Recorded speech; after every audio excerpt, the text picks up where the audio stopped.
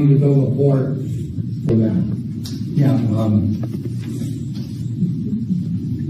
it's Joe Biden's reason. We need to get humanitarian aid into Gaza. I don't think we should. I, I don't think any of our aid that goes to Israel to support our greatest ally, arguably maybe in the world, to defeat Hamas and Iran and Russia, and probably North Korea's in there and China too, with them and helping helping uh, uh, Hamas. We shouldn't be spending a dime on humanitarian aid. I mean, it, it should be like Nagasaki and Hiroshima. Get it over quick.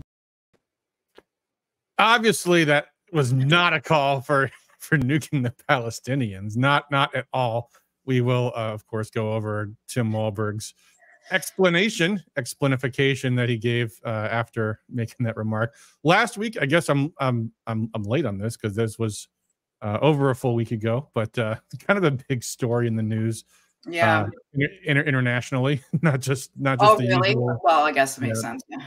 Yeah, not just folks in Michigan talking about. it, Everyone's been talking about that, so we definitely got to talk about that. Hey, everybody! Welcome to the Rescue Michigan Weekly live stream. Hey, Patty, how you doing? Hey, good. How are you? Good. You got plans for the solar eclipse tomorrow?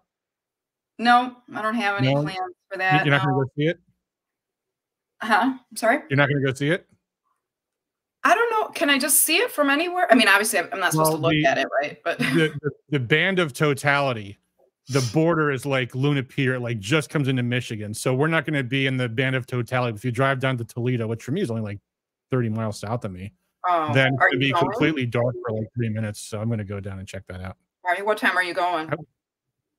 Uh, I don't know. I think that it's supposed to happen like around one, but I don't know how insane traffic might be. I don't know if it's going to be like the Well, entire yeah, state going down to Ohio to see it.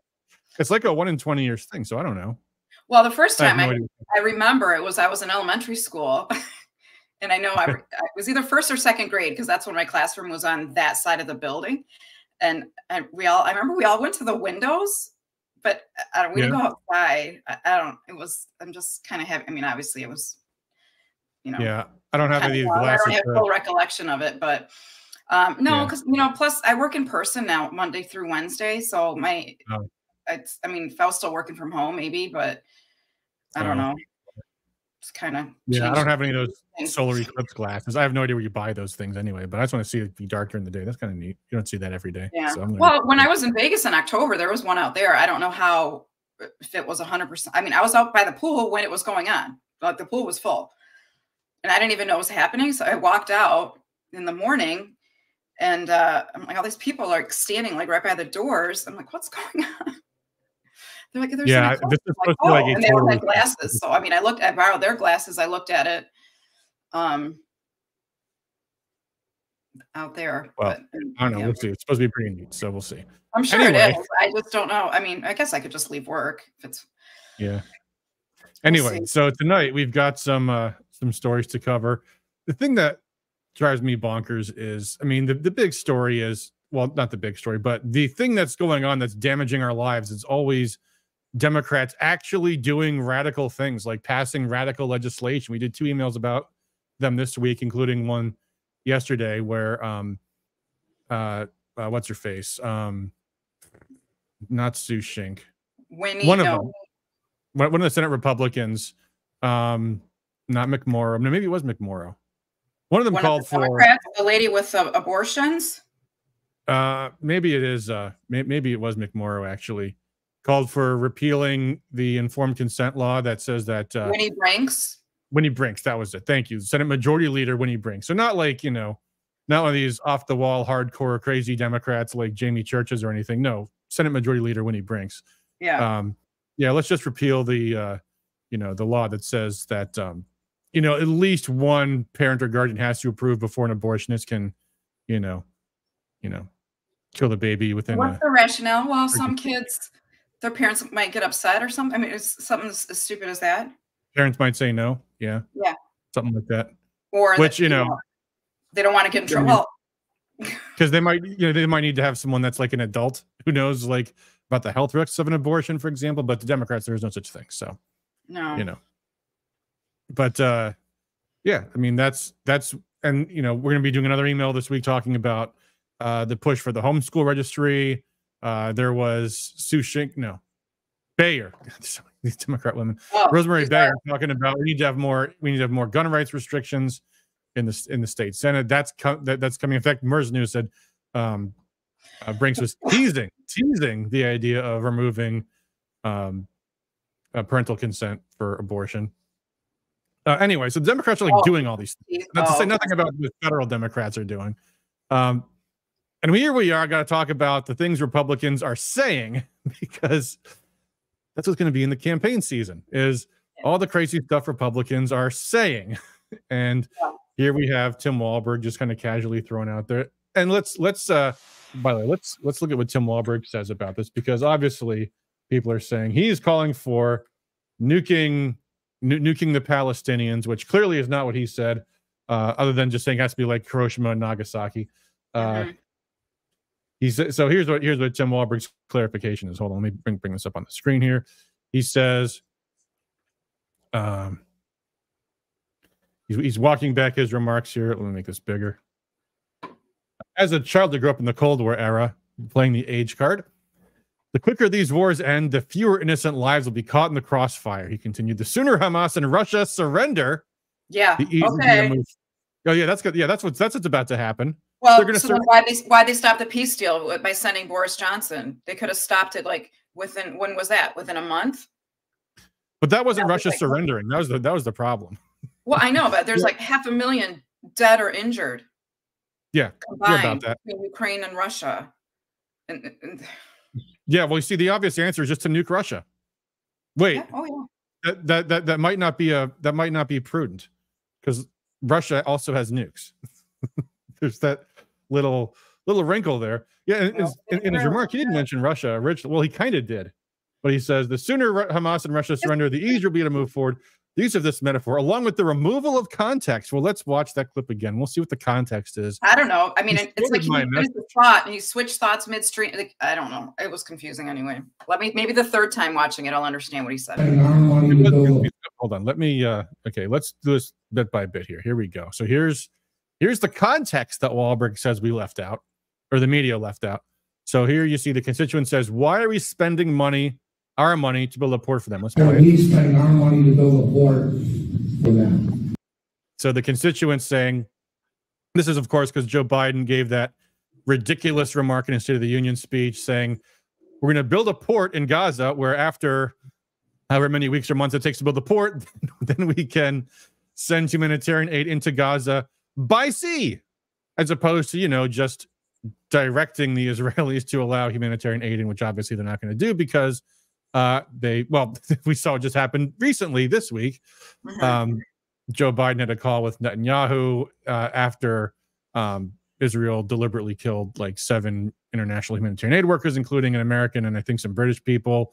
Uh, there's what was it called? The World WCK World Something Kitchen. Anyway, it was like you know very uh, very big international incident, and uh, you know so so Biden calls Netanyahu, and uh, you know now suddenly Israel's like, oh yeah, we'll let him humanitarian aid now. Now that now that you know people like uh, we don't want to die sending this Mhm. stuff in. So now that now that the trucks have already turned around, no, now that now they're going to say yeah, we're going to let some humanitarian aid. Anyway, so constituents asking why are we spending our money to build a port for uh, for the Palestinians? And this is what Tim Albrecht says. Yeah, um, it's Joe Biden's reason. We need to get humanitarian aid into Gaza. Okay, so so, he's, he's saying he's blaming Joe. Well, he's saying that it, Joe Biden's idea, eh, which it, it was Joe Biden's idea, which is an insane idea. But Walberg, now to put this in context, Right, but even his sentence, it's Joe Biden's reason. Like, or, or instead of this is Joe Biden's reason. Like, just eh, he does he not speak well in general? well, yeah, but I mean, okay, so I don't know. I don't know. I mean, I can see there's lots of good ways to spin this as, yeah, Joe Biden's reason, and this is a really boneheaded idea because Israel has taken billions of dollars from us, and we shouldn't need to have to build a port just to bring food in if we need to. Um, Mhm. but that's not where he's going with this.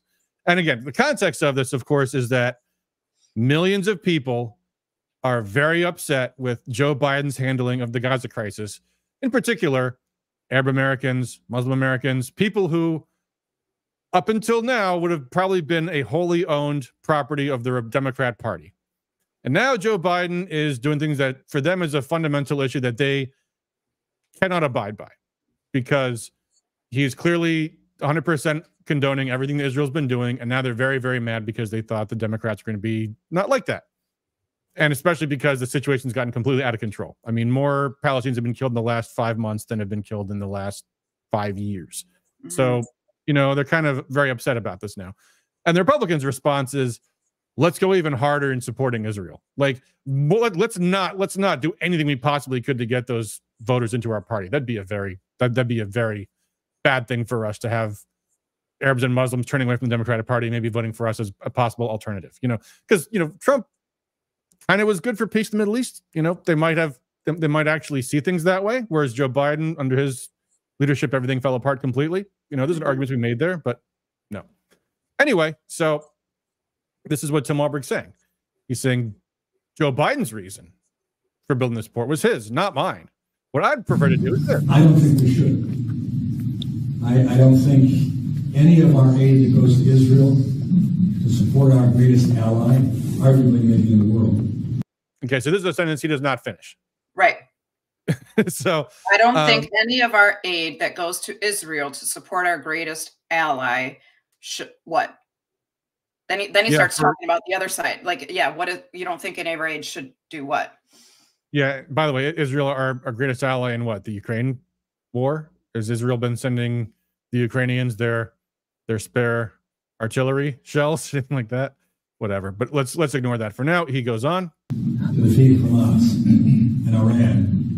And Russia. And probably North Korea's in there and China too.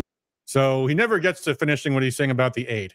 The right. aid that we give Israel to defeat Hamas, uh, uh, it's helping. Uh, the sentence doesn't make any sense, but you see what he's trying to try, trying to say here is we give aid to well he says aid to israel but he's really complaining about aid we give to palestinians because that is helping hamas he says mm-hmm. So this goes on with them and helping helping uh... by the way notice also what he just casually does here hamas iran russia probably north korea's in there too china these are all the countries we want to do something about these are all the countries we're at war with, although we're not at war with any of them officially, but these are all countries that we view as our enemies. Yeah. Hamas. We shouldn't be spending a dime on humanitarian aid. Okay.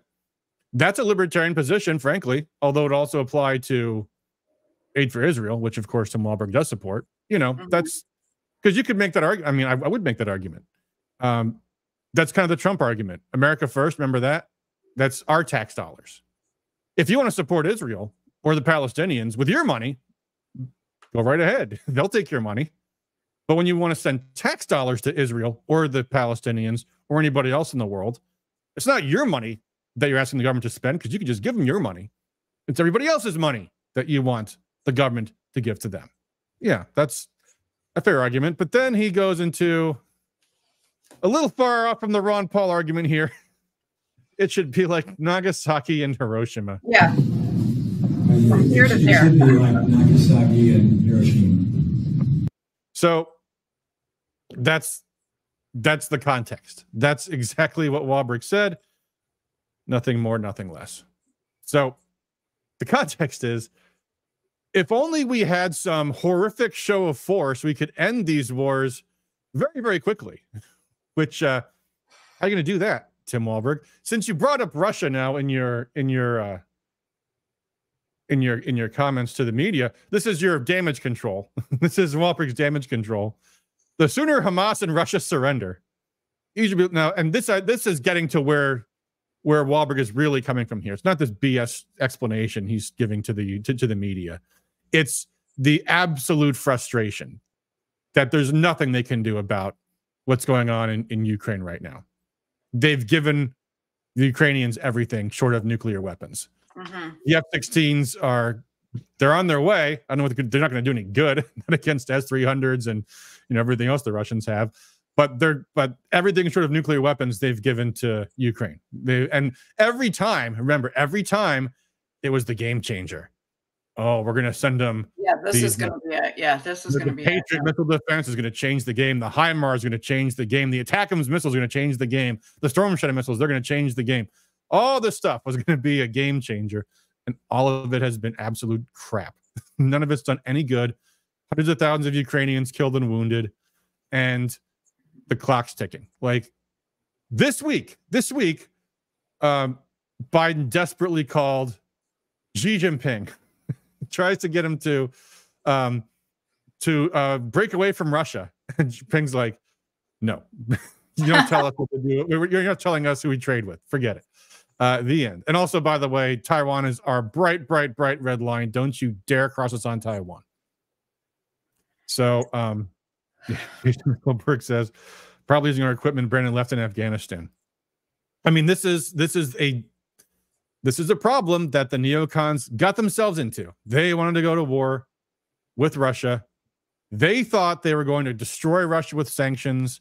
They thought they were going to destroy the Russian military. Remember, from the first month, they were saying, we're going to annihilate them. We're, they're going to run out of missiles. Um, and then there's going to be regime change. The Mhm. Russian people are, and that's why what's happening in Russia these days terror attacks. Because what else are they going to do? They, they, there's nothing else they can do militarily. The, the the best hope they had was probably the Prigozhin uh, revolt, which completely fizzled out. Putin just won another, what is it, six year term they have in Russia? Six years? No more regime change in Russia. They are screwed. So, Mhm. what's Walberg doing now? He's just bemoaning the fact that they have no options in Russia. And what's going on in, Israel? Well, they just bombed an Iranian consulate in Damascus. Looks like Iran is not taking the bait. So they're they, they're trying to get us into a wider war with Iran. Iran doesn't want a wider war. The U.S. doesn't want a wider war. And uh, this is the situation is just not sustainable. I mean, they're what are they going to do? Kill every single Palestinian? I mean, they're they're they're they're making it towards that direction, but Sounds like they want at some point- at some point international pressure is going to break and there's just nothing you can do. So that's what tim Walberg just had was a infantile outburst at a constituent event. That will be fodder for the democrats. Fodder for the democrats. As biden fails in every foreign policy aspect of his own making Walberg is like we should have been even more extreme than biden was. That's that's the face that he puts on the republican party thanks Is he tim running- Walberg Is he running for reelection, Walberg? Oh yeah, Walberg is he actually lost his seat for one term, then he came back. This was like in I want to say 2014, maybe 2012. No, 2012. I think Barack Barack Obama's reelect. I think he lost his seat for maybe it was 2008. So what does So- he have now? Does he have that district that's like all the way across the bot? The weird. Yeah, it used to include at least it used to include where I live. I used to he's, I used to be his constituent, but That's when the-. Yeah. Okay. yeah, went out, and I think they picked up Berrien County on the southwest tip. But um, I used to get invited to Tim Walberg's town halls, and because you know he'd spam his constituents, and I, I listened to see what he was saying to people, and every time it was like, "What are we gonna do about the border?" Well, we got to elect more Republicans. That was always his answer for everything. Was well, it's all Joe Biden's doing, it's all the Democrats doing. Got to elect more Republicans. Okay, well, you guys Yeah. aren't fixing it either. Yeah. Um, Jason Mickelberg also says, can't really blame Putin for not wanting the Biden crime family operating in Ukraine, however. Yeah. well, and I mean, Putin has said, he said to the media, I'd rather have Biden in office than Trump because Biden's predictable and he's Mhm. completely incompetent. Um, What's going on on Rumble? Anything? uh, Herbex is heading to Findlay, Fin- Findlay, Ohio. So I guess that's a, Oh, for the eclipse. Yeah, for someone the, uh, for the- the Scott. Yeah, from Scott from YouTube said the eclipse is at 3:14 p.m. tomorrow. That must be the the full. Yeah, I mean, I, I assume that he means like near where Ohio is. I don't know. I'm going to figure this out all tonight. I know. I've not. I've not really figured out my plans yet exactly, but I, it's definitely sometime in the afternoon. I assume he's right about that. Um, John King has a clip which I'm not queued up to play, but apparently Walberg talks about this in this video here. Uh, so there we go. But let's move on to another topic. We've been talking about Walberg for a while now and um, and there is uh, another another story we have here. This is uh, and now we must return to uh, the uh, well trodden topic of Christina Karamo's Republican Party, and uh, by the way, who's apparently going to be running for state chair again. There was a deadline. Detroit had her interviewed. uh, a day or so ago, and she says she really wants to be the chair again. So that's presumably in the cards, which is something we can all look forward to at our upcoming county conventions. Are we going to elect people that uh, would put Christina Karamo back in charge? We'll see. Um, but we have this is a story from the Kent County Republican Party, uh, which is completely controlled by Karamo's followers. And uh, Bigger Truth Media picked up on this the other day. Uh, they have an event coming up. I can't believe this event is still posted, by the way, after this came out. Common law and the Constitution. Know your rights. And this is uh this is um oh yeah, John saying can yeah, Mark Schauer on the Obama turnout. Yeah, he served one term in Tim Walberg's district, and then Walberg came back. And yes, in 2008. Thank you for clarifying that, John. Um, when we were talking with Scott McMahon uh, this past Monday, we were talking about how he has this operating thesis that the intention of the deep state handlers behind Karamo and all these other efforts in other states is to radicalize the Republican Party, make it extreme. And here's what we see them doing. They're bringing this guy, and this is the this is their event coming up April 18th. Common law and the Constitution. Know your rights. And there is a copy of the um, the preamble to the Constitution. There, you see it there.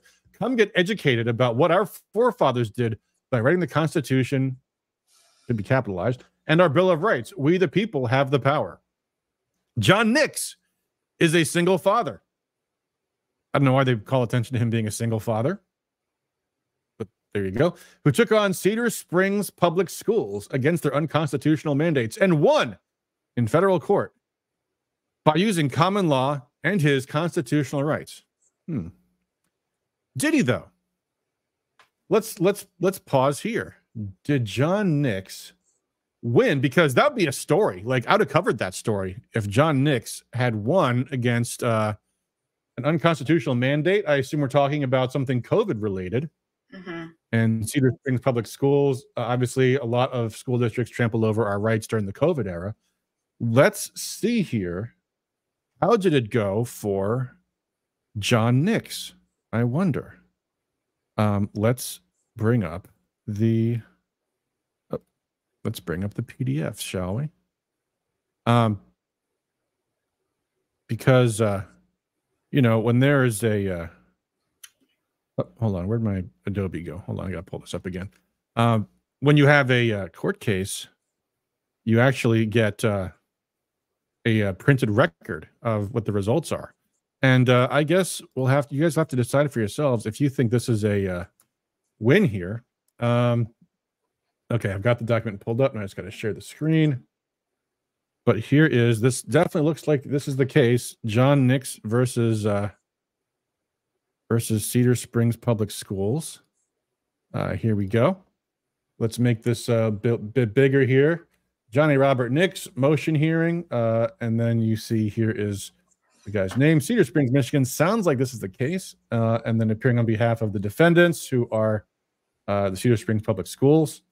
You have their lawyer there, and uh, oh, I'm sorry. This is I'm I'm, I'm getting to the I'm getting ahead of myself here. This is the uh, conclusion. Um, First, we have the recommendation. This is uh, a recommendation. Uh, so we have an action brought by Pro Se. That means representing himself, plaintiff Johnny Robert Nix against Cedar Springs and um, these various, uh, I guess, the school board members. The complaint should be dismissed, they say. Nix refers to his amended complaint as a motion to amend, comma, Court of Claims and filed in the state of Michigan, um, which uh, it wasn't. It was filed in federal court. So, oops. Um, but there he goes. He asserts that, uh, well, they say it does uh, not conform to the rules of federal rules of civil procedure, does not contain a short and plain statement of the grounds of the court's jurisdiction, does not, anyway, just not everything. It's all very bad. Uh, the thrust of the complaint is that defendant Cedar Springs does not have the authority of force of emergency orders. And the guy wrote his own lawsuit and uh, appears to be based on convoluted theory that the defendants have violated constitutional rights. And so, yada, yada, yada, we recommend dismissing the case with prejudice. And the judge, amazingly, uh, did that, dismissed the case. And uh, he says uh, the court concludes the plaintiff did not even have standing to bring the suit on behalf of the residents of Kent County. Uh, nevertheless, the court proceeds on the assumption the plaintiff has standing uh, out of an abundance of caution because the uh, plaintiff is representing himself, uh, and therefore the court is very liberally construing his filings. Uh, nevertheless, uh, the plaintiff makes references to this and that. The court adopts the recommendation, dismissing the case. The court concludes the plaintiff did not plead sufficient facts to state a cause of action. Court adopts that report, uh, except for the bit about the standing, which even still he they dismissed the case. So uh, that's the case. Uh, that's not a Mhm. one case. That is a lost case. Um, cut to one year later, and now there is a hearing on the fees. And here is Mr. Nix, the expert that will be speaking to the Kent County Republicans. And here is how it goes. Everyone's an expert, huh? Mr. Nix, are you here? Mr. Nix responds, I'm a man with a living soul that walks upon the land here for special divine appearance. All right, Okay. all right. What I'm interested now is whether you're Mr. Nix. So Mr. Nix responds, John Robert Nix to invoke the laws of the Republic in Article 4, Section 4 of the constitutional records in this court to establish on this case that this case was terminated by Paul Maloney on February 24th. Are you Mr. Nix? Mr. Nix. I have an ID that says Mr. Nix. I am here as a living man. Nicknamed? Okay. Nickname. Yes, it's on my ID, but it's a nickname. Um, I'm here as a living man. Okay, Mr. Nix, I'm going to resolve this issue today. But this is just advice for you, which I offer based upon my long experience as a lawyer and my shorter experience as a judge. Before I was a lawyer, I was a criminal defense. Before I was a judge, I was a criminal defense lawyer. I represented a series of men who believed in sovereign citizen theory. I don't know if that's what you believe in or not. Kind of sounds like it might be related to that. You think? Um, I just want you to know that there's no basis in law or fact for sovereign citizen theory. Uh, and a series of my clients end up in federal prison. One from your general area somewhere. It's been 20 years or more now. Defended him as best I could, but he was convicted. He got out.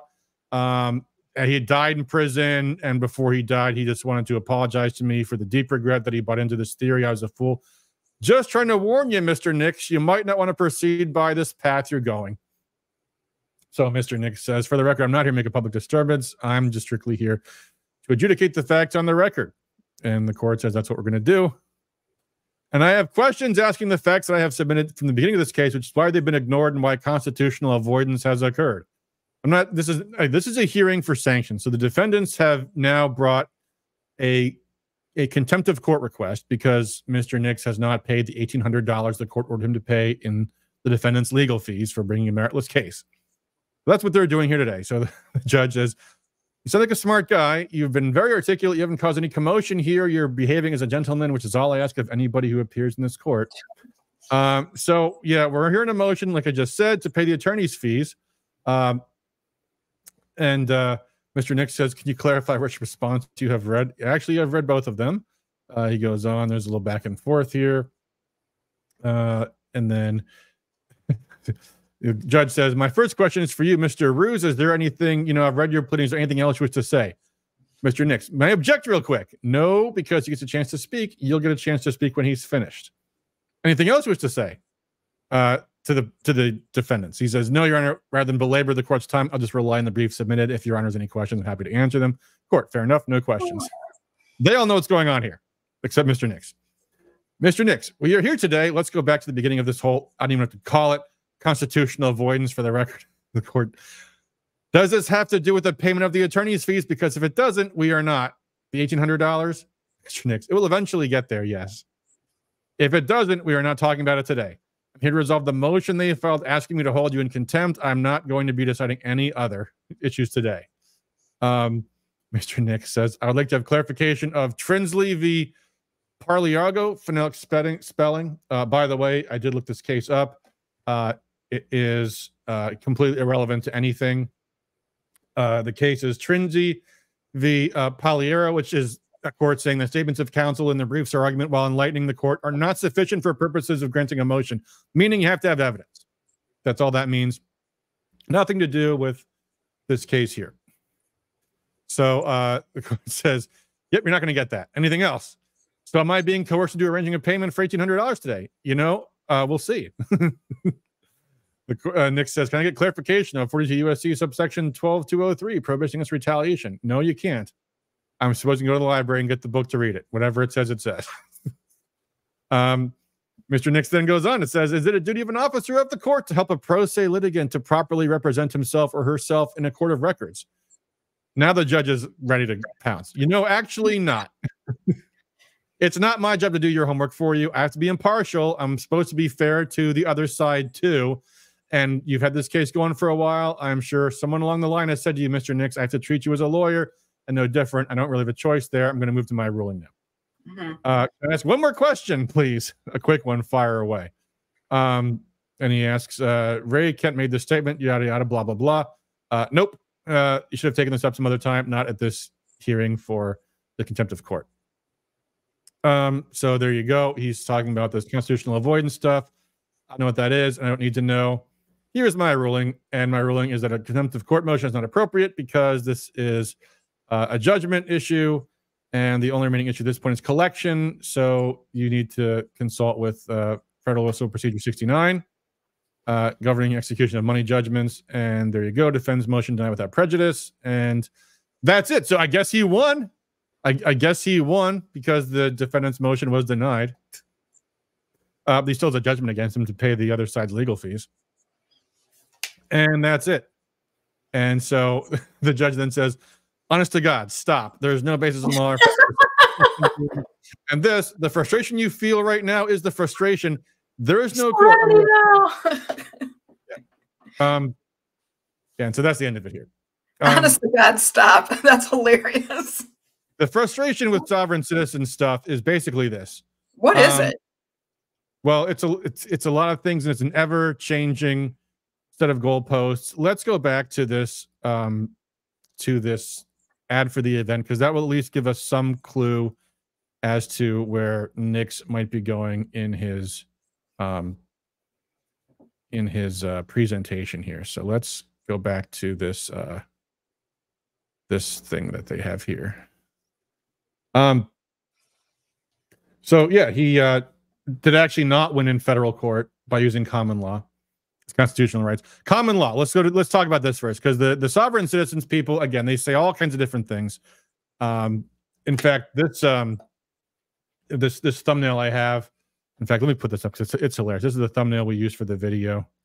Um this is the uh this is by the way an actual thing that someone put on their car in a news story about this guy getting arrested charged with violent crime. That's an, a, a common thing among sovereign citizens is they uh, often are not just like people that don't want to pay taxes, but people that are like violent criminals and things like that. Um, so they don't get what they want in court, so they try this route. Uh, so they've got all these uh, random citations of U.S. code, private property, First Amendment, sex, Second Amendment. That's here. Um, American Israelites, Ninth Amendment, Tenth Amendment, not for hire, non-commercial, right to travel, Fourth Amendment, Fifth Amendment, Royal Tribe of Judah, National Republic, Sovereign Hebrew, Israelite American, blah blah blah blah blah. Um, apparently, if you call it traveling, it's not driving, and therefore you don't need a license. That's a pretty common thing with the sovereign citizen people. Um, I can't imagine this ever working in a court. I don't know why people think it does. Um, Mindy says, "Is sovereign whatever the same as tech basically this is all basically the same thing it's the legal system is bad therefore we somehow have some kind of secret loopholes around it i mean that's basically what it comes down to so anyway let's let's look at what this guy or what this um Kent County Republican Party claims this guy's going to say. Biblical principles will guide us back to the truth. What truth? What principles? And how does that relate to this previous sentence? I don't know. So basically, if we don't know our rights, how can we defend ourselves? That's a question you might ask Mr. Nix, but he's apparently going to tell you how to defend yourself, even though he doesn't really know it, know it very well. With what has happened in this world over the years, many are deceived by the word mandatory and executive order, amongst other things. We were taught not to question and to do as we are told from our leaders. John will cover Marbury versus Madison. And they quote this in all in cases where a law conflicted with the Constitution, Marshall wrote, then the very essence of judicial duty was to follow the Constitution. In other words, the courts get it. If the law has it wrong, then something. Question mark, question mark, step three, profit. Um, let me enlighten you guys. This uh, is a remarkable, remarkable misstatement of what Marbury v. Madison actually was. In fact, Marbury v. Madison was the case that established the very thing the sovereign citizen people despise the most judicial tyranny. This is the case that started it all. This is the case. That, so, the background of this case is that um, John Adams was the second president. John Marshall, who is the Supreme, the, the Chief Justice of the Supreme Court in this case, was also John Adams' Secretary of State. And as he's on his way out and Thomas Jefferson is on his way in, John Adams decides to stack the federal judiciary. so he appoints a whole bunch of people, including this guy Marbury, to the federal judiciary. And his Secretary of State, John Marshall, fails to deliver the proper letters to make Mar- Marbury into a federal judge. So Marbury sues um, the Jefferson administration. Madison is the Secretary of State. And by the time this case gets heard by the U.S. Supreme Court, it's already basically a moot issue. But Marshall wants to say that actually the Supreme Court and nobody else gets to decide what is and is not constitutional. There's no check by the states, there's no check by the people, there's no check by anybody else but the U.S. Supreme Court. This is actually the case that if people understood the Constitution, they would despise. Like, here's a quote from Thomas Jefferson. This is a this is now uh, 1819, so almost 20 years after the Marbury case, which in 1803. There's now a second U.S. Supreme Court case that was one of the foundational cases of judicial tyranny, the McCulloch v. Maryland case, which is a case where now the uh, Supreme Court has decided that Congress has implied powers that are not written in the Constitution expressly. This is a huge, huge inroad into judicial tyranny. So Jefferson writes this um, this other judge, um, Spencer Roane in Virginia, and he's very upset. He says, after 20 years, we find the judiciary on every occasion still driving us into consolidation, meaning consolidation of powers into a federal government. Because remember, the Constitution was supposed to be this big states' rights thing. That's kind of how it was sold by the Federalist Papers. Jefferson wasn't there to criticize it because he was at in Paris that year. This is all stuff, by the way, you're not going to learn from John Nix when you if you go to see him at this thing. He doesn't know anything about any of this stuff. But anyway, um, so they they passed the Constitution. Jefferson says the Constitution is a mere thing of wax in the hands of the judiciary, which they may twist and shape into any form they please. It should be remembered as an axiom of eternal truth in politics that whatever power in any government is independent is absolute also. In theory only at first, while the spirit of the people is up, but in practice, it's fast as public vigilance relaxes. That's Jefferson saying how mad he is about the federal judiciary essentially seizing the power to interpret the Constitution. Now, that decision, by the way, this Marbury v. Madison decision was four to zero. Four to zero. Why is that significant? Because all they said was, yeah, it's an Article 3. it, doesn't give anybody else the power to interpret the Constitution, does it? And by the way, the Anti Federalists warned about all this stuff. They knew it was coming. Patrick Henry talked about this stuff. Here's a quote from one of the Anti Federalist papers. Um, the judicial power shall extend, sorry, quoting Article 3, the judicial power shall extend to all cases in law and equity arising under this Constitution. So in the Anti Federalist Papers, Brutus, it's a pseudonym, says, by this, this inequity, they are empowered to explain the Constitution according to the reasoning spirit of it without being confined to the words or letter. In other words, the Anti Federalist, before the ratification of the Constitution, says yeah, you know, this if you read this, this actually basically gives you judicial tyranny. It's going to take some time, but once, you know, little by little, little by little, they're going to get more and more and more. That's what the Anti-Federalists warned about. That's what Patrick Henry warned about. That's what Jefferson was bemoaning when he lost this case as president, Marbury versus Madison. so, yeah, I'm sure Mr. Nix is really going to have an illuminating analysis of this case the case is going to basically be they're going to say folks they're going to say this is the constitution. You ever see these guys the the uh, pocket constitution the sovereign citizen people love handing these out. This one's issued by cato not the classic ones. You probably seen the smaller ones the pocket constitution with the with the uh, guy with the fife and drum on the cover. I used to hand out a lot of those. Um let me explain something to you folks. This is not the con this is what you wish was the constitution this is what these sovereign citizens say is the Constitution.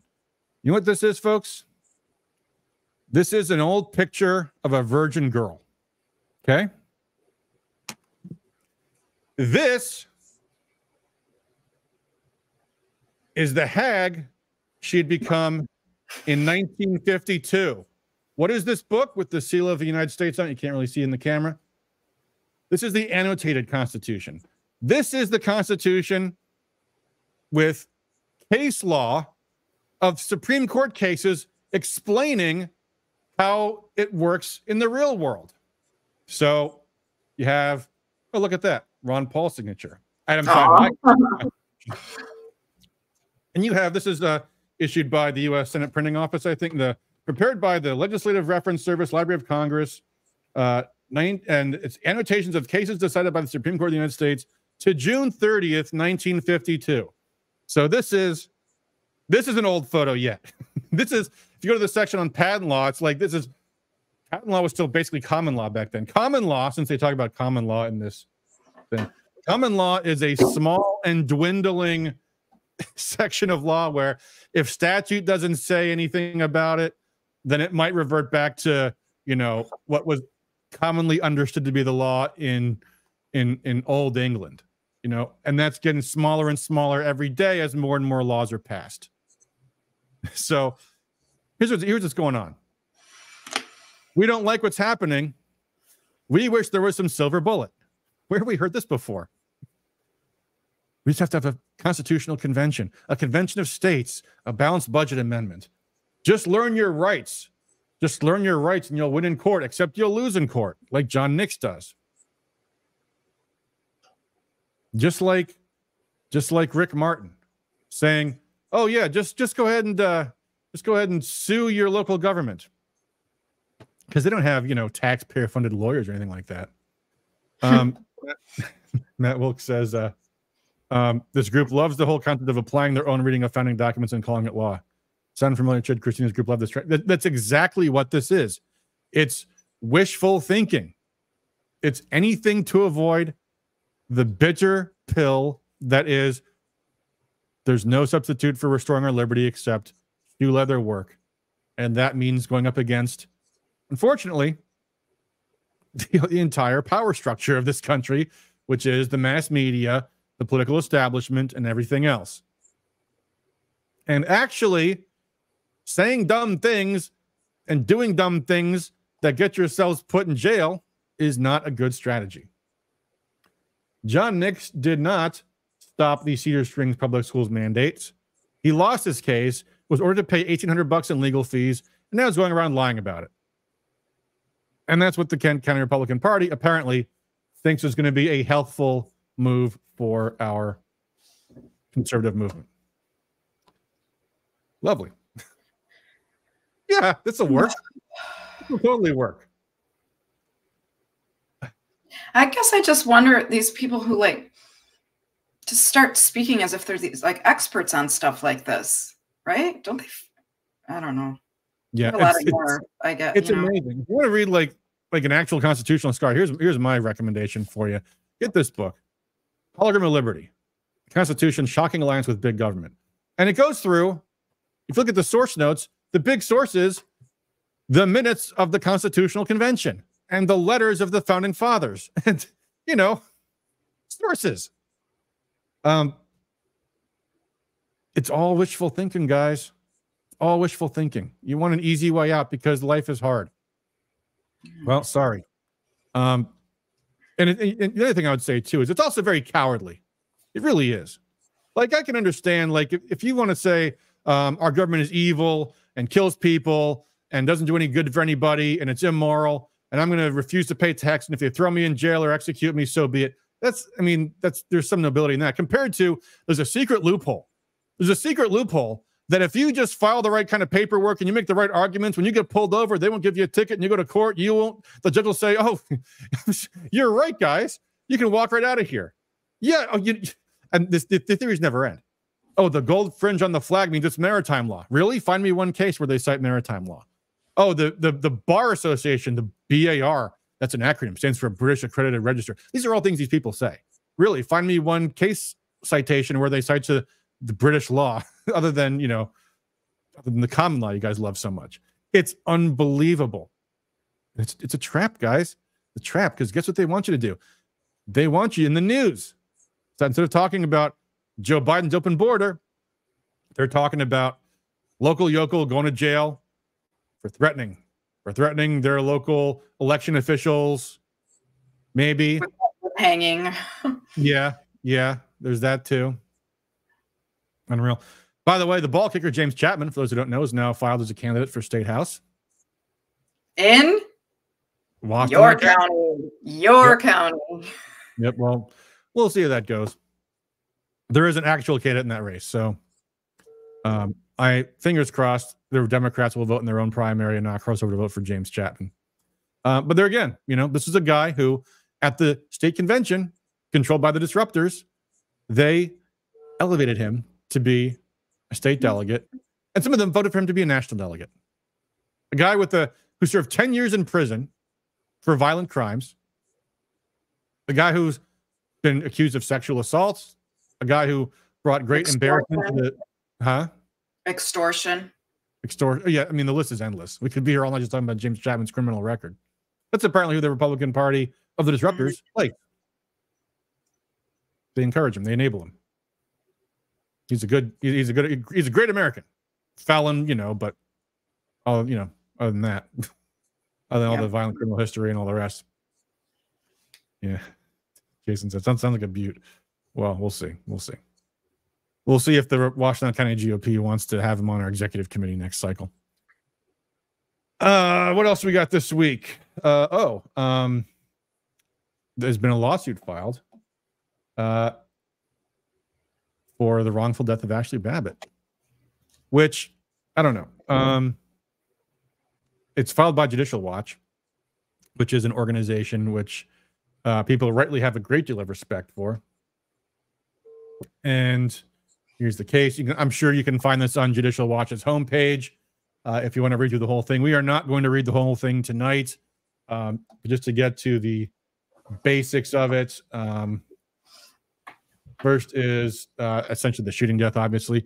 I'm worried about this just because uh, Andrew Branca, who is the law of self defense attorney, literally the only attorney in America, to my knowledge, whose expertise is entirely self defense law, says, unfortunately, might not like to hear this, but he says this is a justifiable self defense case because, you know, first off, you have to you have, you have to put aside any question of fairness because it doesn't matter. You know, uh, you get pulled over for speeding. You can't say, "Well, the guy in front of me was speeding."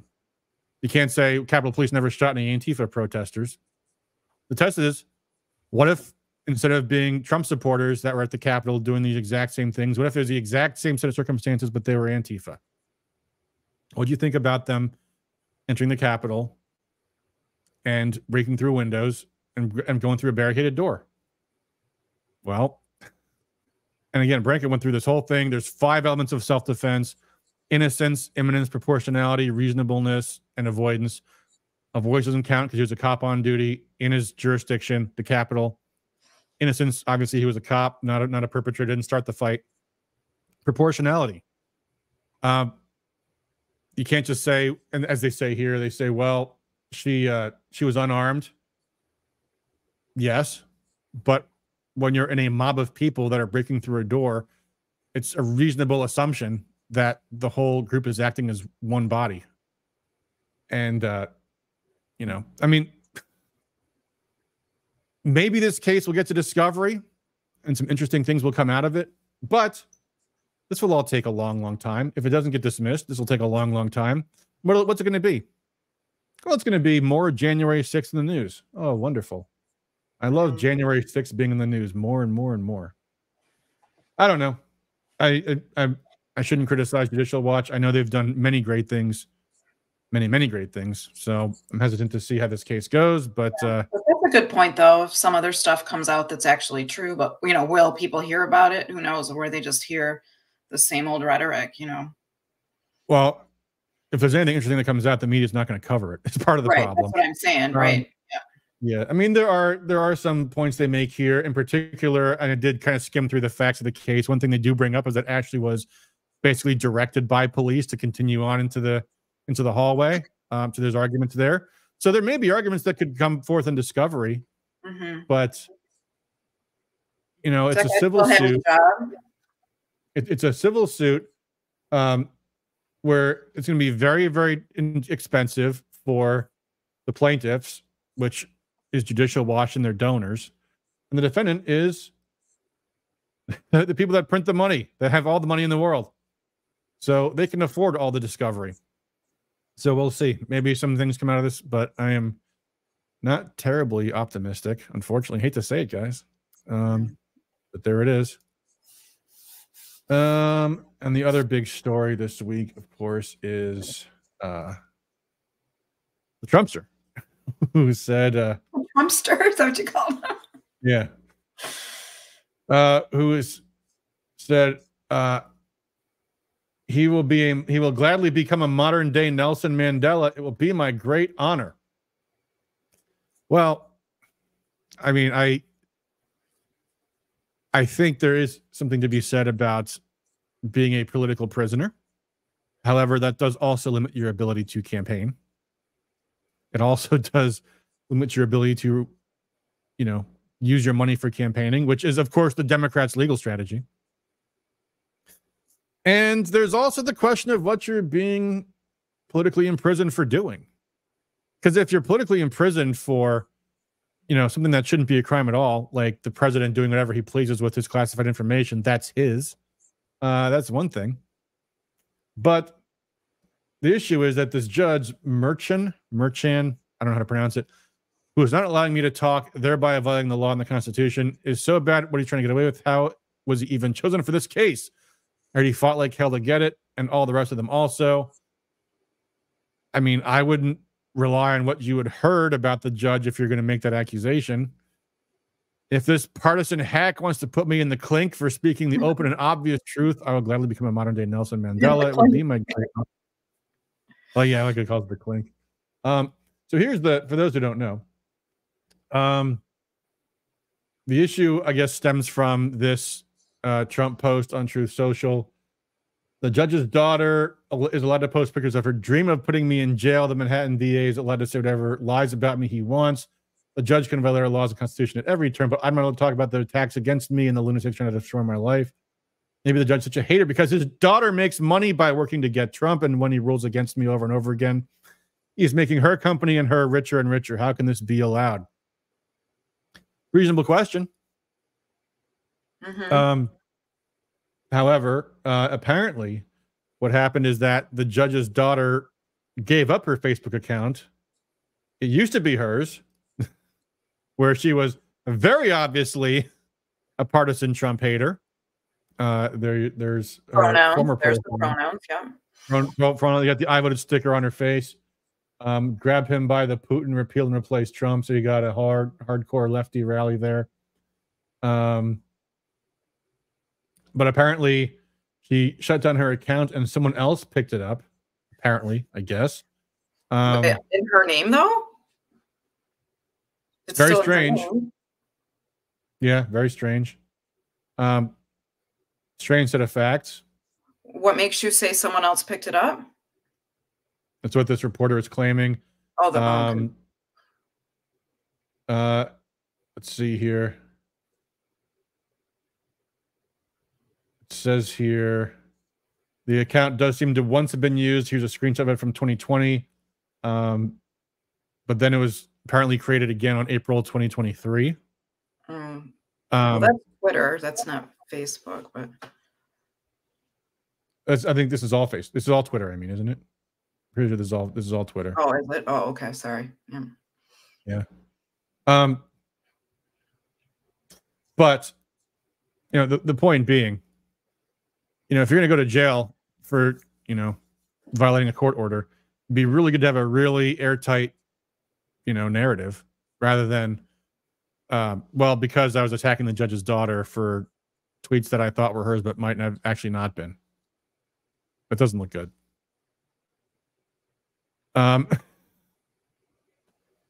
Thomas Richards says the Kent County GOP is nothing more than a clown show now that the Marxist mob voted out all the actual Republicans. Jason, I'm sure it was his in response says, I'm sorry, man, gotta fix that. Yep. Um, Oh, also on Rumble, Hurlback says Mr. Nick sounds like a sovereign citizen. Yeah, definitely he was traveling. Um, Barry Altman says the GOP has a problem with forgiveness of ancient history mistakes. Some cultures are not forgiving white slave owners. If that guy changed his life, he should be considered for his pursuits. Um, Who's that guy? I guess this is Chapman. I guess he's talking about. Uh, Chapman's mistakes are not ancient history, Barry. No, he continues those, sir, till this to this day. That's nothing. Yeah. Yeah, Yep. Uh, anyway, it's his So- present. It's his present as well, not just his past.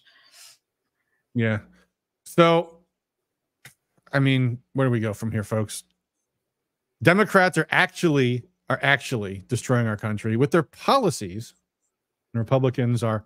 Let's hold my beer. Let's tell you uh, what we want to do. We want to um, we want to attack judges and their daughters, which I'm sure he's got a fair question about. But there's a smarter way to say it that I'm sure his lawyers did not appreciate him doing it this way.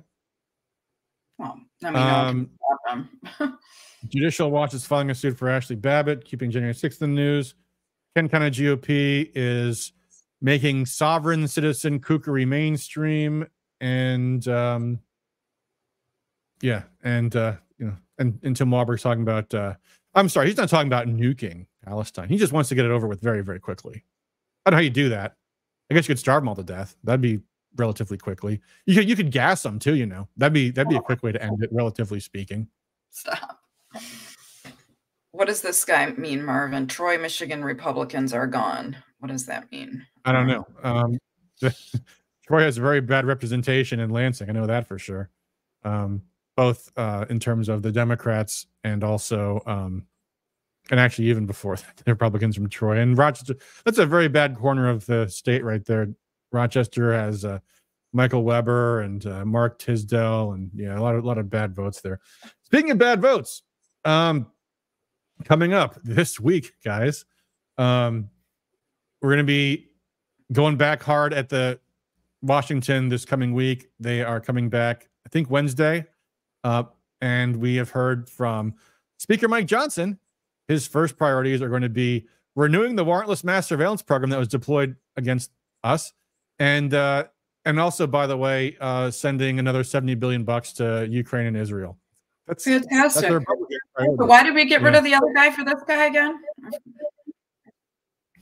Uh, well, the hope I think was that we elected Jim Jordan to be the next speaker, but unfortunately, John James screwed us out of that. Oh, So, he wasn't the um, only one, was he? No, but he was the only one in Michigan that did that. Hmm. Um, yeah, but yeah, uh, Johnson is completely off the deep end. Um, no longer even pretending to be any kind of America First character. Complete and total 180. Um, embarrassing. So we'll see how the Michigan delegation votes on all these things. I assume the worst because so far they've been horrible. Um, but we are going to start getting their emails going. In fact, I just updated the contact info. What we do when we contact Lansing, when you guys sign our petition, by the way, I don't know if anyone knows it, and people understand this.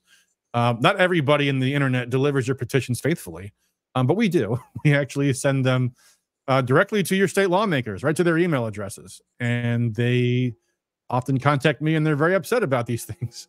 In Washington, they make it very, very, very hard to contact your congressman through email. They have a whole electronic system with a web form that they use um, that we can't interact with. So we just email them to their legislative directors and also we're going to copy their district directors on these things too. Um, they actually do pay attention to these things, folks. They really do. There's a reason why they haven't renewed FISA up till this point. Uh, FISA is the Foreign Intelligence Surveillance Act. That's the thing that is the warrantless mass surveillance program under 702. Look for those emails uh, tomorrow and Tuesday. Um, don't be silent about this stuff, guys. Don't let Tim Walberg get away with saying a bunch of garbage and thinking that there's not going to be any any political price to pay because that's why they do it. That's why they do it because they think, oh, they're going to vote for me anyway. Mindy says, "Who did Johnson make a Right? deal with?" Do. That's what. Um, you know, on Tucker Carlson, uh, Marjorie Taylor Greene this past week was seriously talking about this might be a uh, a blackmail thing, which is not too far fetched For what? For Johnson? for anybody. Um, What? I'm sorry. Or What, other what is possibility- what is a blackmail thing? Well, they were they didn't get into specifics because I don't think they have specifics. But Margie Taylor Greene was talking to Tucker this past week, and um, and she suggested that that Johnson might be blackmailed from some by some way Oh. or another, which is not not unheard of. You know, I mean, the FBI, CIA, obviously. you know, this goes back to J. Edgar Hoover. Um, I remember my my Senate Majority Leader in Rhode Island. The FBI was going after him for like two years, and the guy was they, they had his chief of staff bugged, and the guy was actually squeaky clean. Um, and they got him anyway, They just because they just make shit up. Um, and that's the way that goes. Um, Emma Birch said, "I saw Garrett Soldano told people to unify around Mike Rogers. I Emma, Yeah. send me that link if you find it. That's that is highly, highly instructive if that's true, but I can't confirm that until I see the evidence. But I've There you go, seen, yeah, it was started maybe yesterday, he, or this morning, and then I think he did a live stream today encouraging people to, you know, ask questions or whatever and trying to explain what he meant, or I'm not sure. So I don't know. funny, I didn't, very I didn't funny. watch. So, but yeah, he did. Interesting. Well, we will have to we will have to see. And I'll, I'll give Emma a moment or two if she can find the link to it. We can- well, you know what? Tell you what, Emma, um, put put it put it in the chat or something, or in the uh, in a in a comment on Facebook or something, so that we can talk. We can cover it uh, when we have the source if we find a source for it. Um, If you go to his But- Facebook page, you can see, or his Twitter. Okay. Yeah. Well, I don't want to do that while we're live on air, um, because you know I Yeah, might okay. be might be plodding around for a little while there. Okay. But um, but yeah, it'd be nice if one of these days we could just go out and talk about how the Democrats are so bad. But you know, Yeah. and, the- the- and people come back and say, Adam, you're the you're the you're the problem. You're the one who keeps bringing up all this dirty laundry. it's like, well, you know, I didn't make these remarks. Uh, Barry says yesterday on Soldano. On Twitter, Um, yeah, and fight both Facebook, yeah. His grassroots army, uh, it's that's the name of the account, I think now. Um, that's true, Uh, Sharon. I, I did read that. He, he, did- he just said Uh, well, unify. He didn't say unite behind Rogers, but Yeah. He did an interview with Mike Rogers and then said it'd be better for the party to unify him because it's a better option than Marxists. Um, I I've I've done my lesser of two evils spiel a few times, including once recently, so I'll, I'll refrain from doing that again tonight. But I'm sure we'll come back to talk about that again, maybe perhaps after the primary to talk about that. So there you go. All right, I think that's going to do it for us for tonight. Uh, Okay. Hope you guys all so get to just have a enjoy the to remind everyone. Yes, go ahead, please. So, um, April 23rd is the deadline if you want to run for office. Um, state house, county commissions, um, township boards, etc. Um, it's recommended uh, you to pay the hundred dollar fee. You know, don't try to get the signatures if you can. Just pay the hundred dollars and sign up. Library board, school board, etc. That's April 23rd. May 7th is the deadline to file your affidavit of identity with the county clerk if you want to be a precinct delegate. Um, and you want to be on the ballot. There after that, you would be a write-in. But if you want to be on the ballot, that's that deadline is then. Our county is having a sign up this Thursday. Um, so if you go follow Wayne Sixth County Republican Committee, you can see the information about that and we're going to have a few more. This is just the first one. We're going to try to do three, I believe. Oh, school board is in July. Thank you. I'm sorry. Yeah, those are nonpartisans. Yep.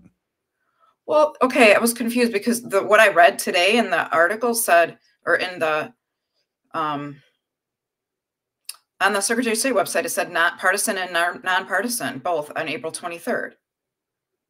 That doesn't sound right. I don't know. I'll I'll send it to you after and see. So Okay. um, anyway, so uh yeah, so that that's if you want to sign up to be a precinct delegate.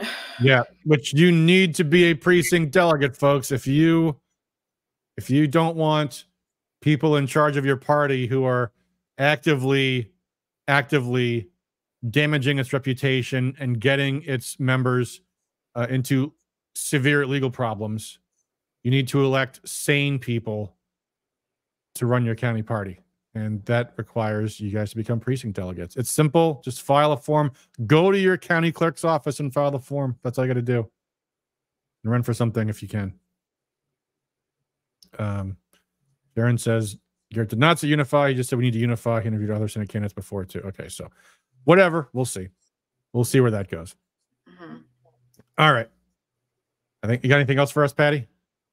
No, just that stuff. So yeah, just be mindful of of those deadlines and um. Yeah. Yep. Yeah. Mindy says KK supporters in stand up Michigan, previously freedom of movement don't need not apply. Oh, they're coming. That's the only election they care about is the is taking over the GOP. They are obsessed with it. They they obviously don't care about winning elections. And they wouldn't be doing stuff like uh, you know, they wouldn't be doing stuff like this if they cared about winning elections. Um, We had a good day yesterday door knocking. oh good. yeah. It was a nice, it was a beautiful day. You mean you try to win elections by knocking on doors? It's nice. So there you go, folks. Um, become a precinct delegate. More on that coming soon too. Uh, until then, as always, thanks for all you guys do for liberty. More streams to come this week, and until next time, peace.